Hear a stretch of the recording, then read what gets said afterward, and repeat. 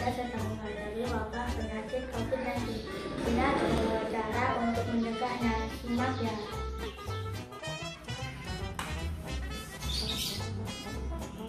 Thank you.